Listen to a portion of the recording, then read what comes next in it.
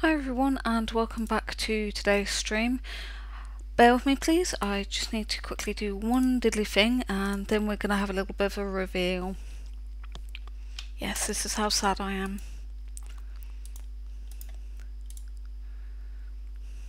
I'm not letting you see it yet.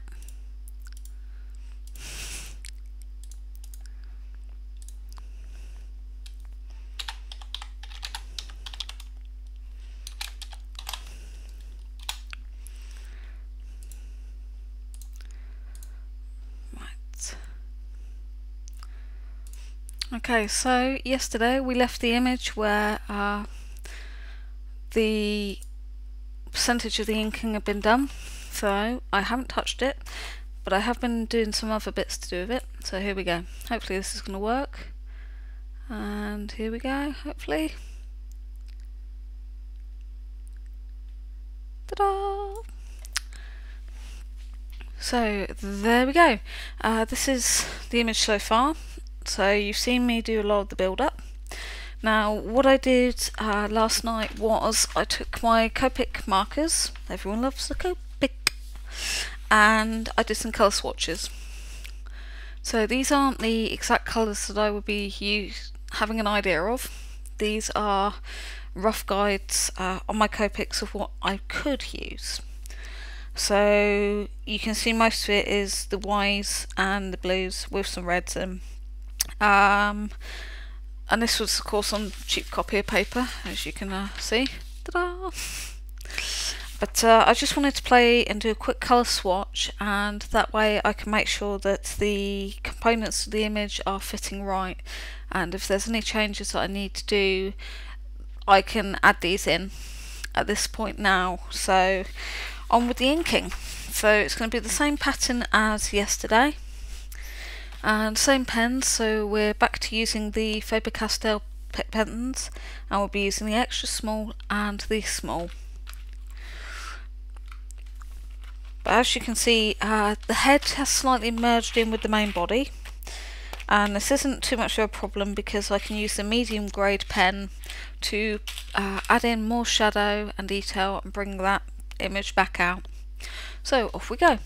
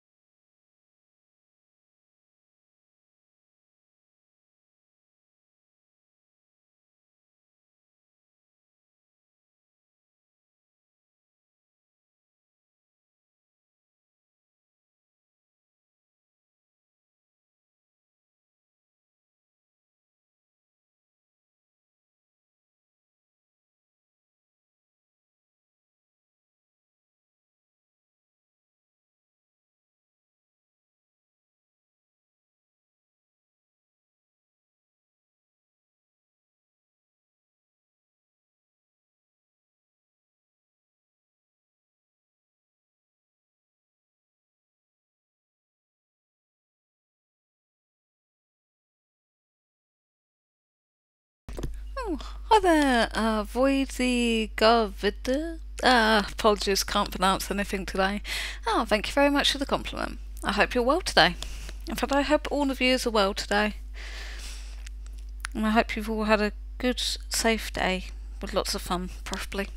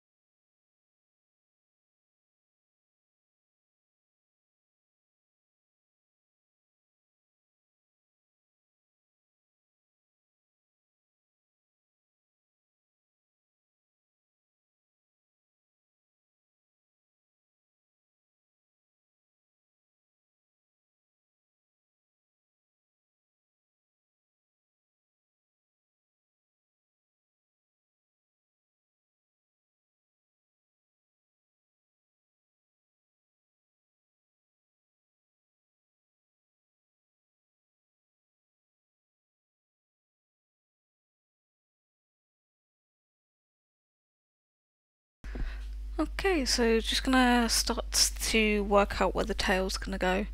So as you can see by my blue lines, I didn't really in the end decide on what shape or how far out I wanted the tail to go. And as you can see also I've changed the pattern from having the sycamore leaves at the top. Uh, we've now moved into more oak leaf and grass. There's some bluebells in here as well. And then uh, some almost like honeysuckle branches coming up. So I just need to sort out that tail. Now because I had my Scully pencil with me today and I was doing uh, some just random sketches, I took out all of my blue graphite. So I just need to load in a new one. This is the good old Mars Micron by Staedtler. Apparently you can get it still uh, here and there, but it's um it's an expensive one to go for. I think I saw it somewhere for about five pound for a, um, a few of them.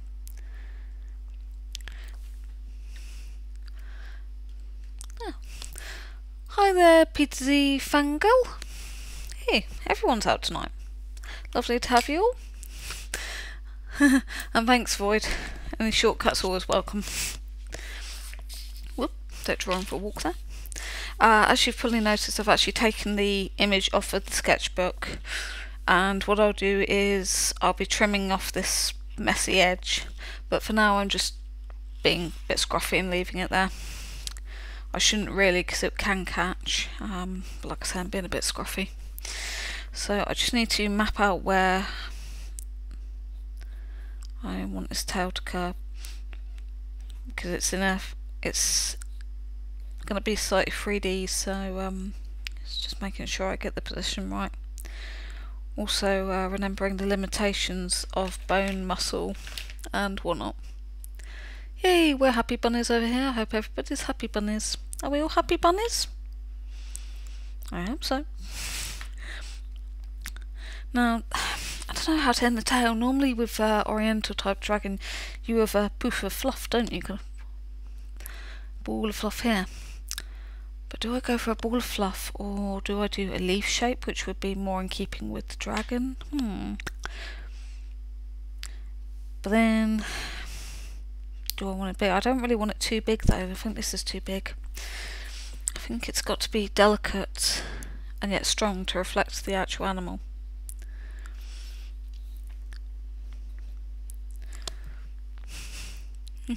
Uh, so far this drawing has taken me two, what, what were we on yesterday? We were on two hours yesterday, plus the half hour to get the initial sketch, so um, plus 18 minutes, so mm, give or take two and, two and a quarter, three quarter hours?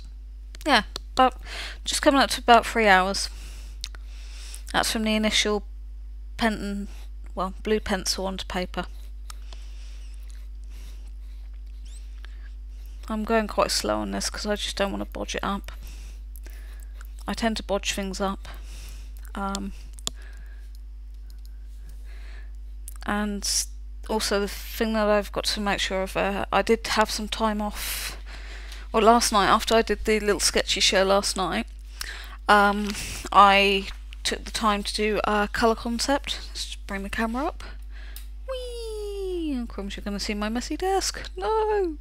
Um, so I did uh, after the show last night. I did a little bit of color concept work, and the as I said at the beginning of the stream, um, the whole reason is just to get an idea of what colours I want to use and also just testing out the nibs on the Copics because yesterday I wasn't 100% sure if the Copics or should I use Spectrum Noir.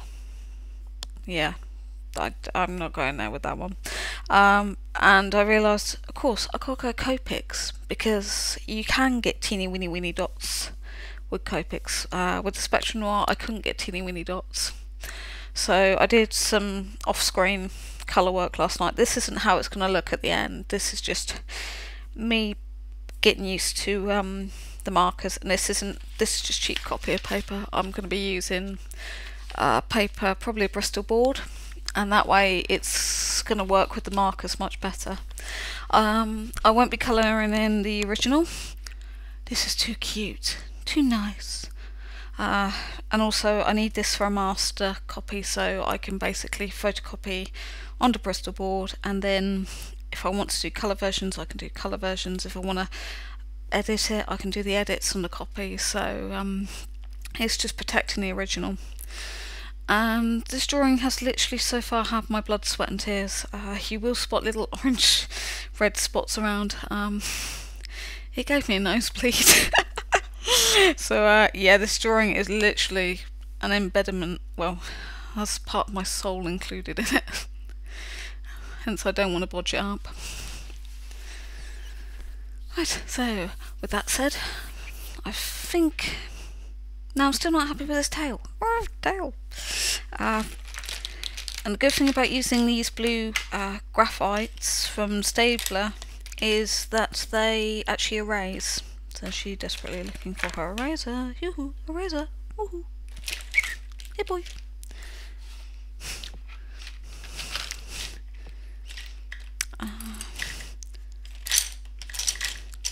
No, you're not an eraser. You're not an eraser. You're not an eraser. My eraser's done a runner. Uh, I do normally use a Tombow Mono eraser, which currently has gone walkabouts. If you saw the state of my desk, you will probably understand why it's gone walkabouts. I swear I didn't pack it in today's kit. Okay, it's uh, yeah, it's done a proverbial runner. You wait, the minute I finish the stream, it'll drop out of nowhere on top of me. right, so I'm just gonna edit and make sure that curve is nice and soft.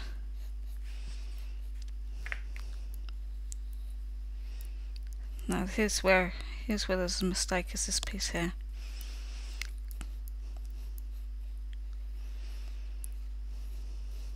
There we go. That feels better. That feels a lot better. Right, so now back to the inking.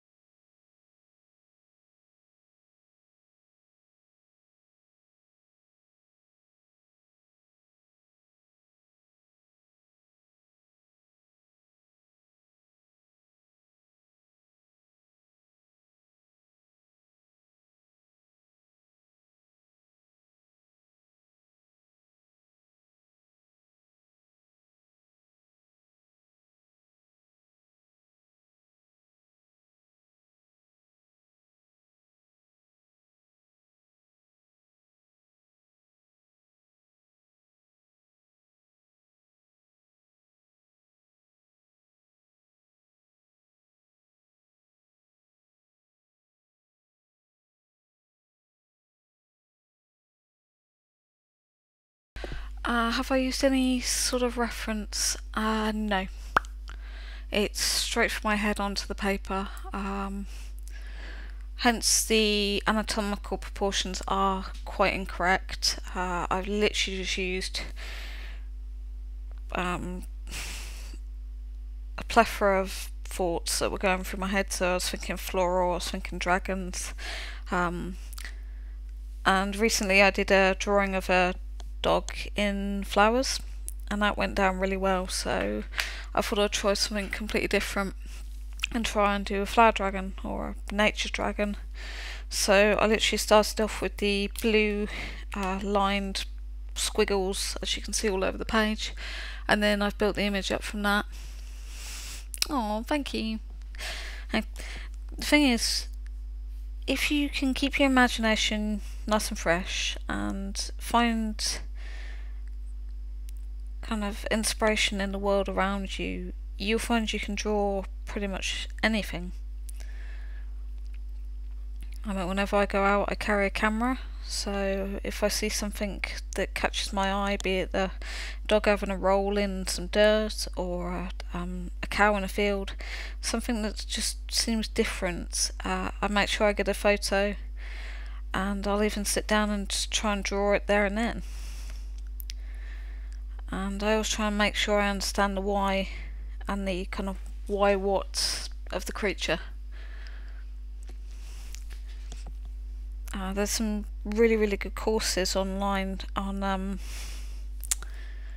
uh, I can't remember this now Imagine International or International Imagine um, basically Terryl Whitlatch who is one of the designers on uh, George Lucas's Star Wars team so uh, she did a lot of creature creation. She's got some courses, I think a lot of them are free, on a project called uh, Tales of Amalthea.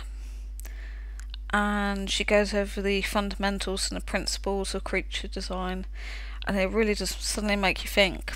And you can learn how to draw creatures which are like rancors and um, tauntauns, birds, everything. But it's you start off kind of with the basic normal animal anatomy and then she shows you how to turn it into something completely different.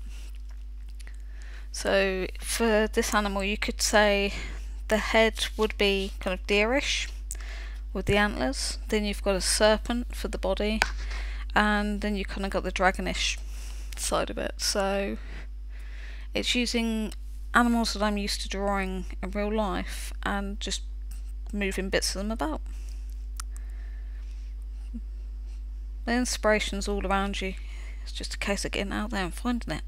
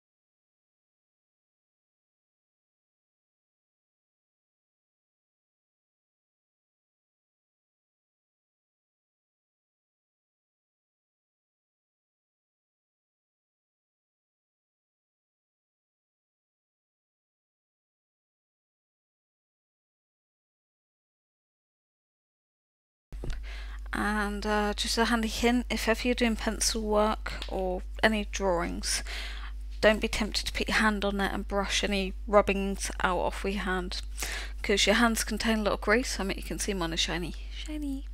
Um, and that grease if it soaks into the paper can affect the paper quite badly. So you know when you go to a museum and you see an old book and people are handling it with white gloves That's because they don't want the acids from their hands in sweat to damage old paper. So I've went gone out and bought a really cheap makeup brush. I think I got this from Wilkinson's for about two pound, and it's soft. And uh, I just use that to gently brush away any working um, bits of rubber or anything like that. So that will just keep the drawing clean. And it also means that when I'm using pens, I'm not picking up uh, excess particles and affecting the nibs. Because if you get rubber bits onto a fine nib like this, I mean this isn't the finest nib that I've worked in. Uh, I think that was a Copic 0.05 or something I had once. But uh, if once you get grit and stuff onto that, your line weight will smudge and go all over the place. So it's quite important to keep your paper as uh, dust free as possible. And the only thing I say about using a silicone uh, rubber when doing rubbings out over ink, it will fade the lines a little bit.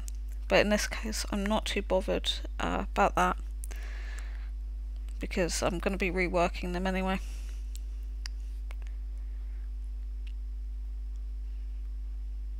And yesterday I was a bit concerned about, because this is a textured paper, um, the paper that I'm actually using is, I keep on forgetting what this is called. Let's do a quick check. So the paper I'm using is a Faber-Castell mixed media pad. You get 30 sheets, it's acid free and it's 250 weight. So that's why I'm using, but it is quite textured paper and I'm used to working on smooth Bristol board so it's uh, I was worried that I was going to start losing the tip of the pen that it would start to sand almost sand effect. Uh, I have actually had that problem with Sharpies. I was doing a canvas book drawing and as I was using Sharpies to draw the image on top of the front of the book uh, the image lines were getting fatter and fatter and I didn't quite work out why until I looked at the Sharpie and half the nib had been sanded away. So uh, that was a learning experience. I think I had was it, uh, two A4 cover pieces, so front and back of this canvas book and I got through about eight Sharpie pens because they just it just sanded the nibs away. It was ridiculous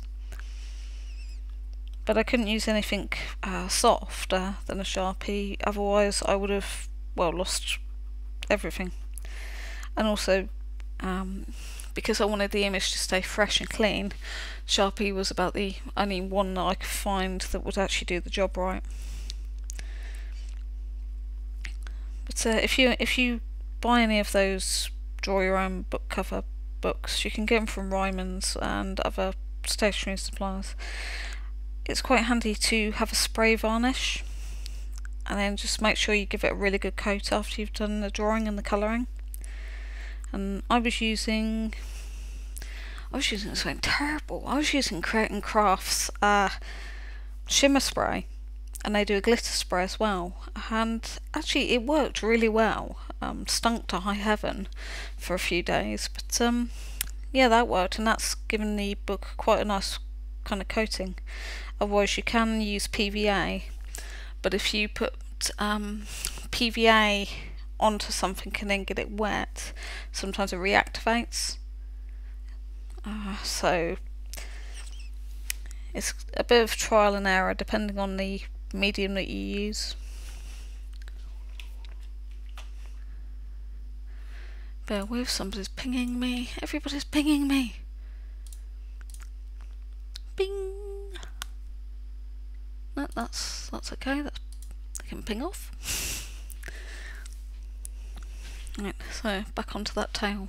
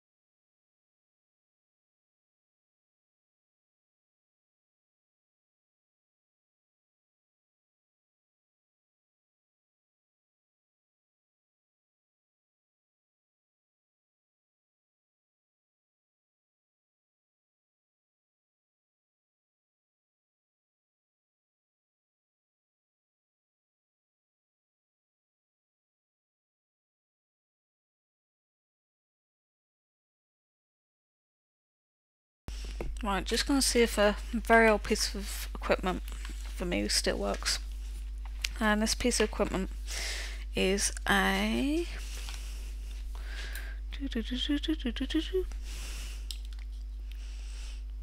electric, well, not exactly electric, uh, razor. Who knows it's electric, it's battery. Um, and I always manage to do it the wrong way around.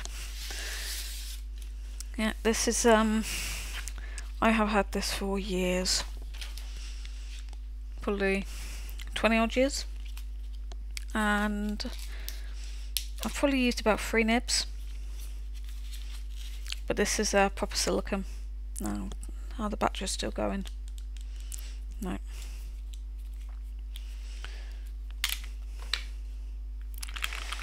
Yeah, that's not looking good. Jeez. Yeah. Um, my batteries are melted. Whoops. Right, um, think, right. Yeah, uh, that's why you should always take batteries out and um, not leave them in packaging. Um, okay, let's try this one. I can never quite remember how these go around. Left or right? That goes there.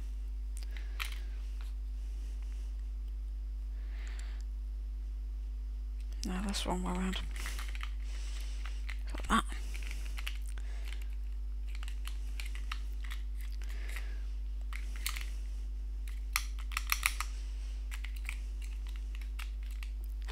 Right, let's see if this fits.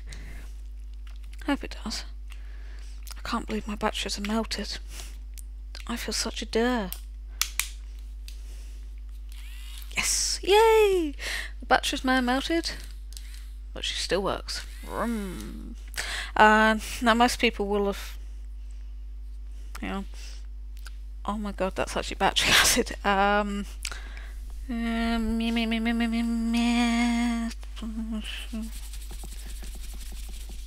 Right, sorry. Okay, okay, okay, okay, okay, darling. Right, the batteries are in a tray. Um, I think it's going to leak for a few minutes. There we go. Right, emergency over. yeah, um, like I say, if you have a battery powered eraser, if you're not using it for a while, please take the batteries out, as I've just uh, found out. I only used this a few months ago, but uh, clearly some batteries leak faster than others. Right, so most of you will have seen the Derwent um, erasers, the little ones. They're normally a couple of quid for a small one. Now, sorry about the rustling. Um, I normally have a. There we go. There we go. I always actually carry. I've got three of these erasers. Right. Um. So the normal one that you'll see in the high street is this one, which is a Derwent um, one and you get the same thing. So the one that I've got, which is in this big, so I've got this and that, but I prefer this baby.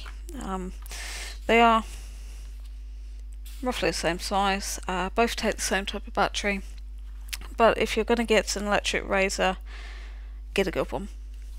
Now, the Derwent one only comes with the silicone erasers, whereas the um, Sakura, Sakura uh, comes with two types. So you get the blue for ink and you get the white for pencils. So if you're using proper drawing ink, uh, in theory you can take quite a lot of it out with those.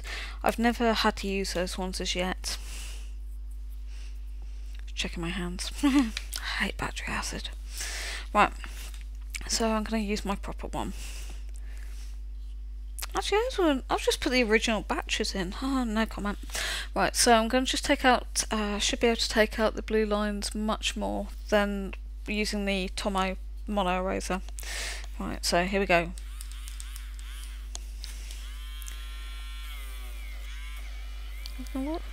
There we go. Now like with all the razors, uh, this one is going to kick up some dust. I think I must have pushed the pencil too hard there. Like I say, I'm going to be using a photocopy of this, but for now I just want to make my life easier.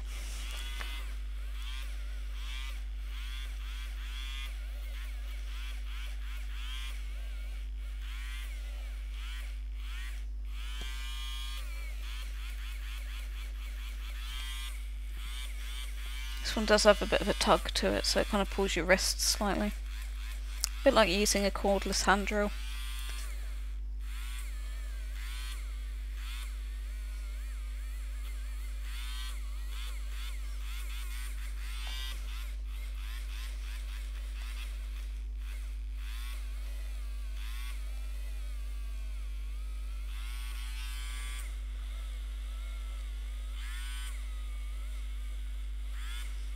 I just got rid of the um, the innocuous stains quite quickly.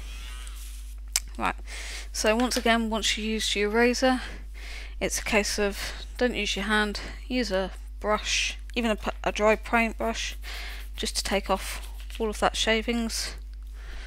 I've just cleaned that up a little bit. I wasn't after the whole hog being gotten rid of there, but it's just taken the blue down quite a lot. In this case, I'm so pinging these batteries out. Come on.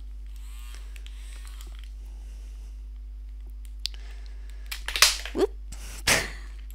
uh, okay, that one went ping a bit faster and further than I thought it would. Bing. Right. But uh, yeah, if, if you're going to do pencil drawing, uh, definitely, definitely try and get yourself a battery powered eraser. They're worth their weight in gold and the stronger and better quality you can get the better. Uh, it's one of those products that quality does matter. So they can go back in my drawer. I have a heat. I have a double huge drawer unit next to me with uh, everything in. I to say back to the inking.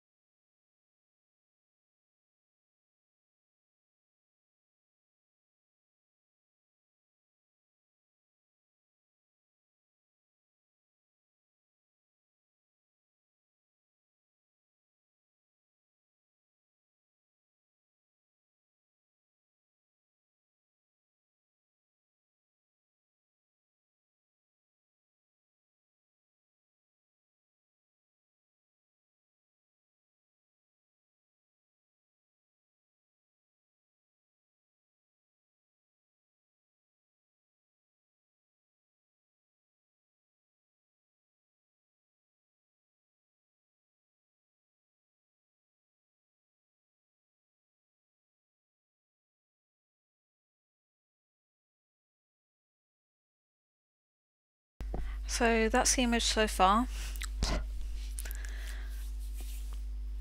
And as you can see, I've started to add in a lot more of the detail onto the tail.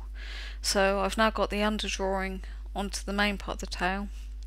And what I'll have to do is start to add in more of the detail onto this area.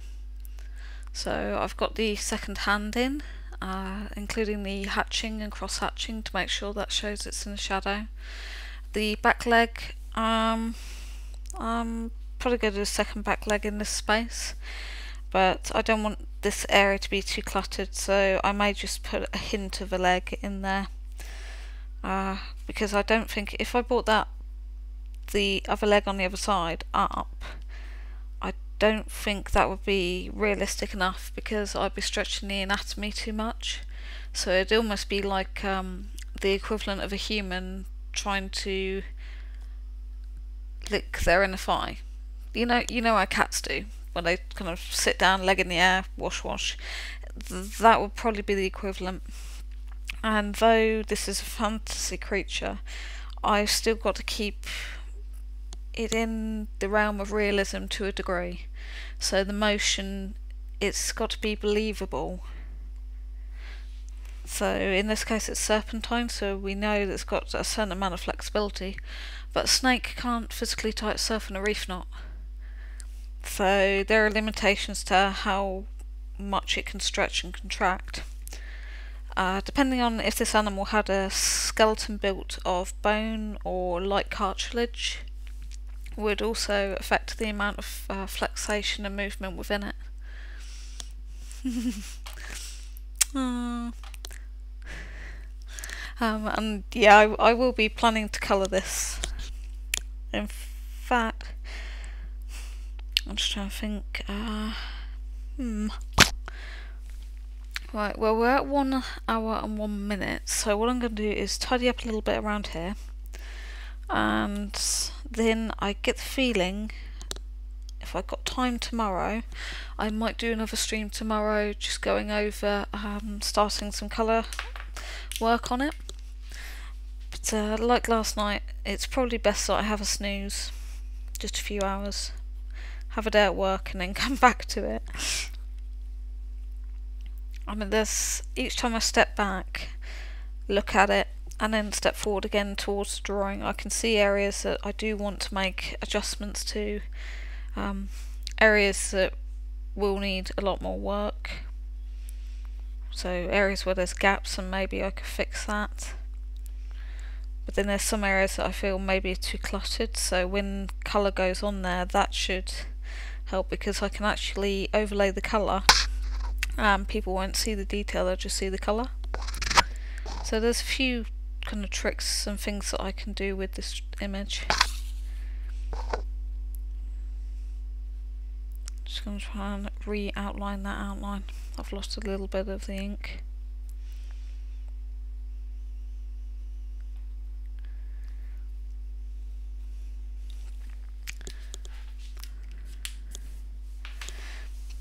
So that's the black and white. And then eventually once I decide what colours I'm going for, we'll have something moderately looks somewhere around this. Um, what I have noticed in my colour draft and workings is that I really want to include a lot of golds, bronzes, um, and my phone went ping pong, um, and colours that are reflected throughout nature, so not just the seasons but nature itself which is pretty much every single colour in the book.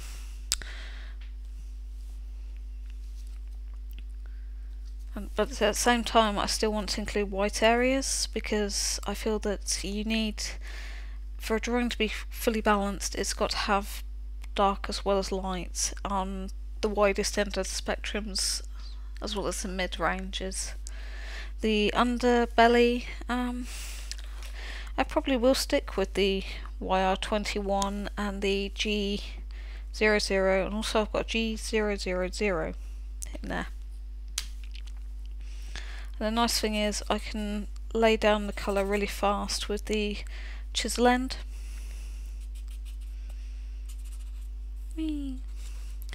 and because Copics you can blend so quickly with, I can do a colour and then do an overlay. So if an if a colour, oh, sugar, yeah, guess what I just did. Um, if a colour is too strong, uh, then I can blend it out with the blender. Oh my gosh, that was close. oh, yeah, you can tell I'm half asleep, can't you? Because of course, cheap copy of paper, it bleeds through. I nearly just had bleed, pen bleed onto my original order.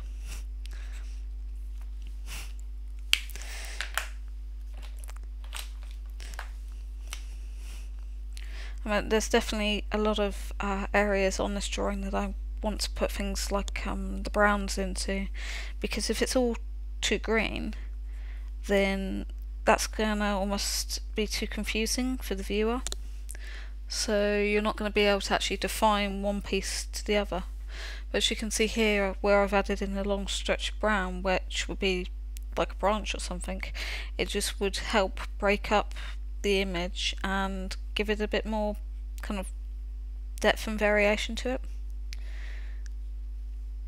But even that, I've got to do that within, I've got to limit it still because I don't want that to be the over-dominant colour. And the nice thing about Copics is because you can get such thin fine lines with them that I shouldn't have any problems elongating any lines that I want or even adding lines in.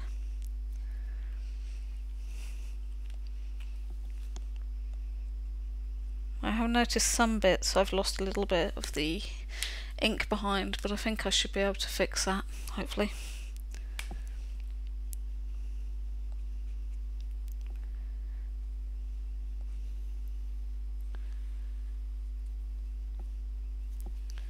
But there are colour combinations I do like. And then there's a few that I'm like maybe not. I could stay to much lighter greens um, or I could go to more vibrant colours. The grass colours uh, up here I definitely definitely want to change. I'm not happy 100% with the vibrancy. I think I've put greens in there that are far too bright so I can mute that down turning a lot of them into moss green colours. And then maybe have a few of the brighter greens just dotted throughout the leaves. Like so. Uh, the reds I haven't put in proper reds yet. Um, that's another area that I've got to work out what's going to be best. Because again with reds you've got to be quite careful not to make it too bright because if it's too bright it's just going to stick out and distract from the whole image. And I can push greens in with some of the browns to create moss uh, looks. And then with the kind of leaves on the spine I can just put oranges in with that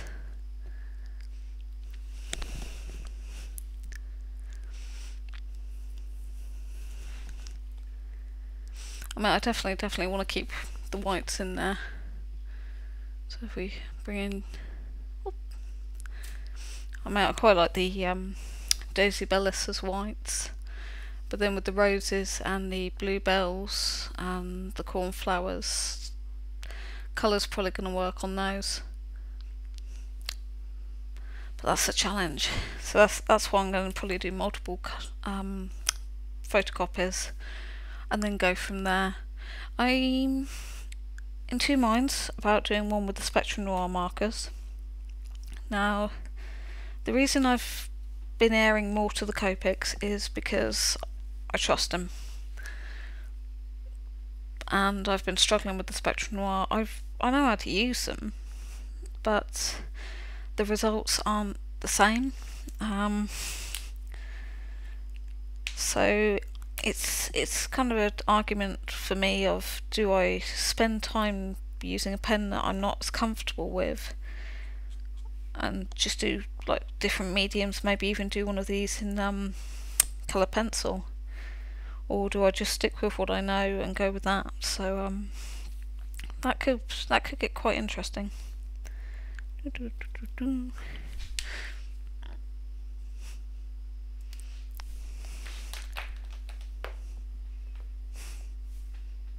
Oh, sorry. A baby sprout seems to have um, attacked the page. You know what they say? You gotta eat your greens. Um, colour background as well. Um, I'm tempted to go for a light blue on the background. Um, now, the thing is, when the image is complete, it's not going to have any of this, um, any of this like junky notes and stuff. But I'm quite tempted on doing like a um, blue gradient. Let me grab a, here we go, my favourite pencils, the Luminance. You always get a lovely rich colour with the Luminance.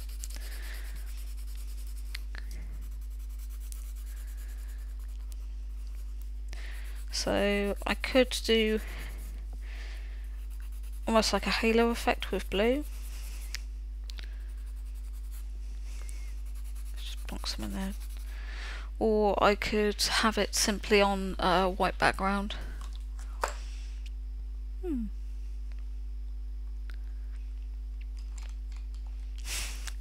So this is uh, something else that I need to just kind of sit down with all of the black and white copies that I get and just go over as much as possible and that's why it's really important whenever you do a really nice drawing in black and white don't immediately colour it get some copies and play because playing is half the fun yeah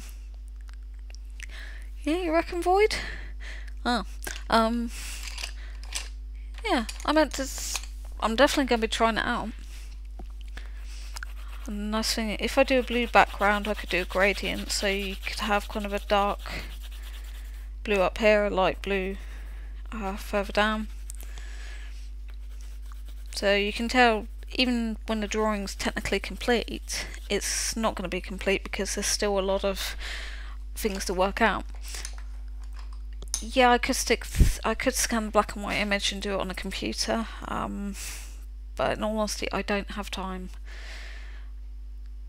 It's easy, yeah, to stick something on a computer, scan it in, and do all of the editing and changes on the computer. The only thing is, a computer can't show you as good as texture as pencil does. It can't really replicate that to such a degree. So that's where actually using the physical medium is going to be a big help in finding out how this works the best. And in truth, I think probably every image will work. It's just a case of um, personal preference over customer preference.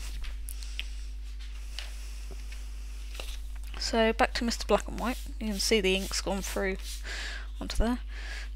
So here's the black and white again. yeah, I'm beginning to like the colour a lot. so, as I say, I've still got all of this area to clean up. What I may do is do that um, over the next couple of days at work in my lunch hours. But if anybody dares put a cup of coffee near me, they are going to be in trouble. Because coffee stains I can't get out of paper. Actually, that's an idea. If I could get some um, coffee and tea and do that trick where you take watercolour paper and you stain it with the coffee grinds and you make um, tan paper with it, it's absolutely great fun. Huge mess. But um, then I could dry that paper, send it through the photocopier with this image on, and how would I colour it? I'll still be able to colour that because I could use white acrylics just to bring out the highlights. Ooh, ah. This is the worst thing when you've got a blank, uh, kind of blank canvas of a drawing. You suddenly think, ooh, I could do that, I could do that. That's what I love about this sort of work.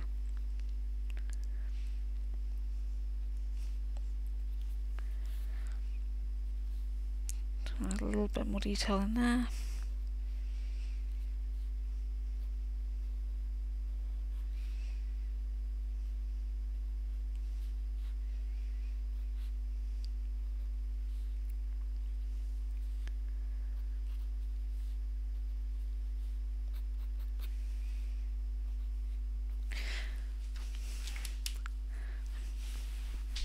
And uh, by the way, this um, tonight's video will be uploaded onto YouTube, so if you want to see all of the work so far, uh, there is a link down below somewhere to my YouTube channel, my little little spot on YouTube. It's very humble, very small. Uh, but this will be going on there as probably part, yeah, part three. And then the next upload, like I say, hopefully I should have some more work on this in the next few days. Life, uh, depending on if that gets in the way.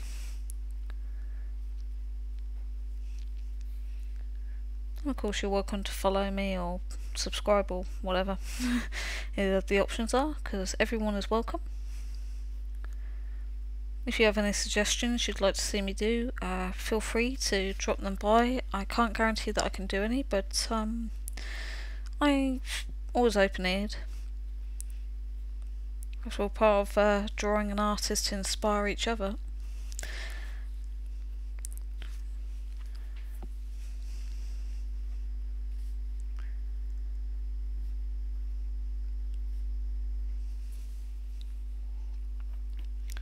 and darken that area up and this bit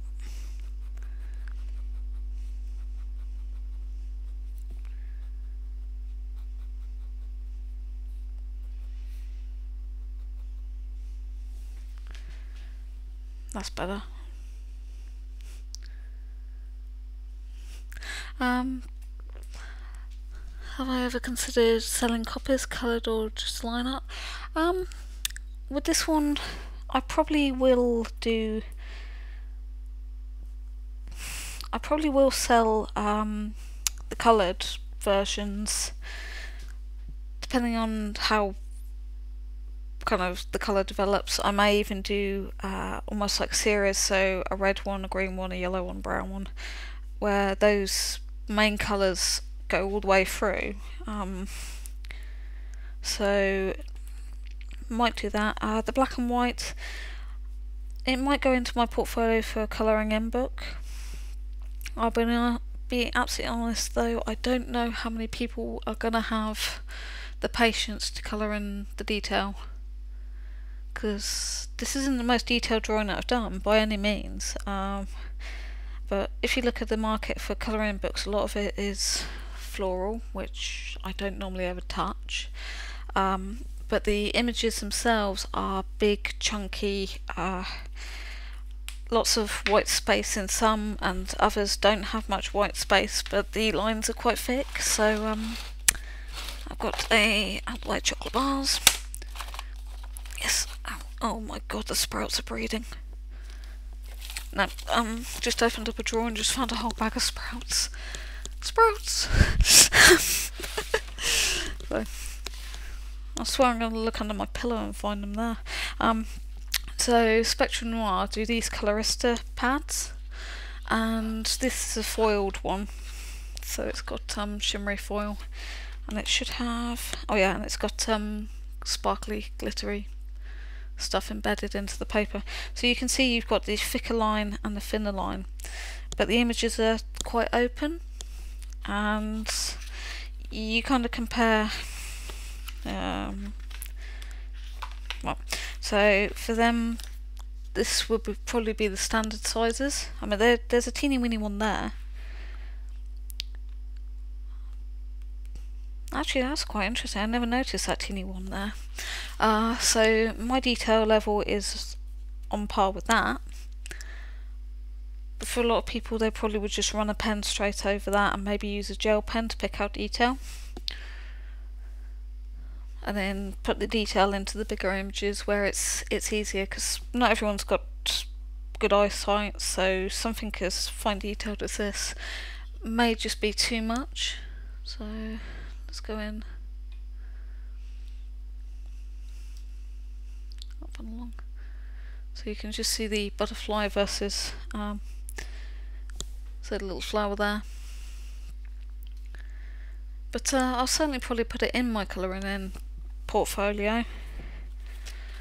But uh, I and I'll certainly have a go at trying to sell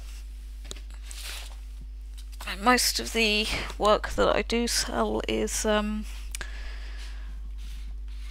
bigger and um, more open.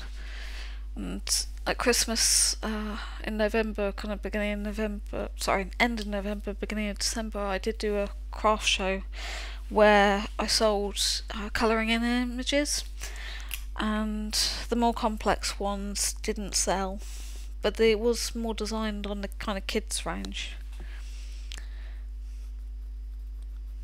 I just I I'm in two minds. I it's definitely going to go in the portfolio, but I'll probably end up having to have a chat with the chap who does my printing. He's uh he's a very very good gallery owner, and he can normally tell what's hot and what's not. But if I went to one of the big companies and said, "This is my design," put it in your colouring in book, um, I don't honestly think it would. Yep, seasonal colours could definitely go in for because lots of leaves you do get the seasonal colours so yeah that's definitely definitely going to be uh, on the books. I can see myself spending the whole year colouring can't you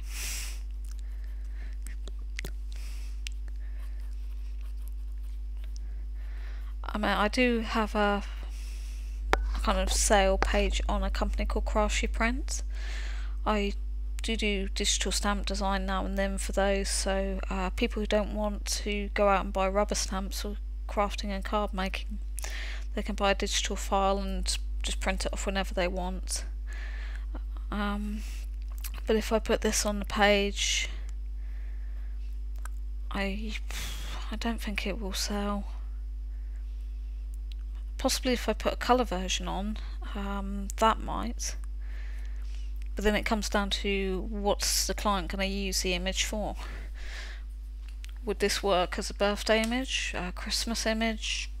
But that's where um, Void you saying about doing four different colours for each season. That would coincide with that. So a winter dragon using blues and violets and such would look very pretty and then could be associated with kind of the winter seasons. I could always add a candy cane in somewhere.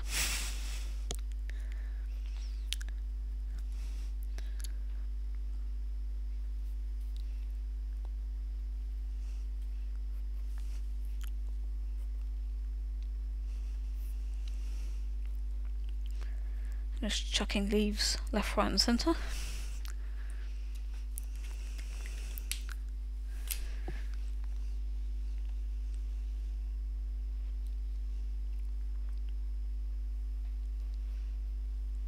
Yeah, by the way, sorry if the sound of me swallowing is quite loud. Uh,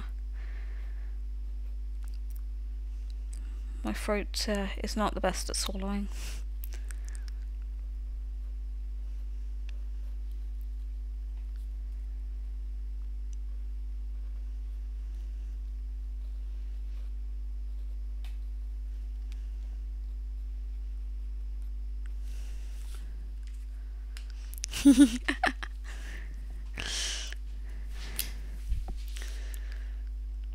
Void you with very, very good ideas. He was doing the inspiring good.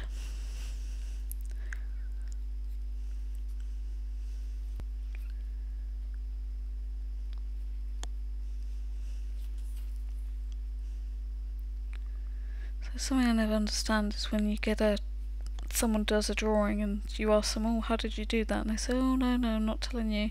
It's trade secret. It's nicer to share the ideas and thoughts and inspire others. It's always good. Right. Heave. Uh, how often do I plan to stream? I sadly can't set up a regular schedule because of work commitments.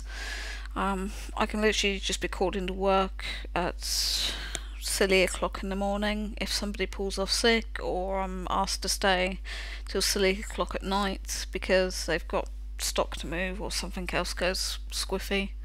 There's a lot of sickness so I'm hoping Um, I'm certainly hoping to get some done tomorrow. Depends on how much chaos I walk into work. Uh, so for UK time, it's really any time after let's see seven o'clock ish. But um, it depends if I've got a day off. Then it could be any point during the day. It depends on other commitments. So, like I say, I sadly don't have a set time. I am hoping to be back tomorrow. Um, but if you do wish to see more, you're more than welcome to follow. Um, and it's been lovely having you here today, Void, so thank you. And uh, actually, on that note, I think I'm going to call it quits for tonight because it's 1941. um, there's a joke in there. and we've been streaming for 1.25 hours, which isn't bad. A bit shorter than yesterday's two and a bit hours. So, I hope this has helped inspire you guys to go out, get a bit of paper, find that pencil. It's in that pencil case somewhere. And have a go at drawing. Go out, get some reference photos if you can, or sit and draw a duck. It will help you learn and improve and gain so much. So, all the best, everyone. Please take care and happy drawing. And I hope to see you all again soon. Night night.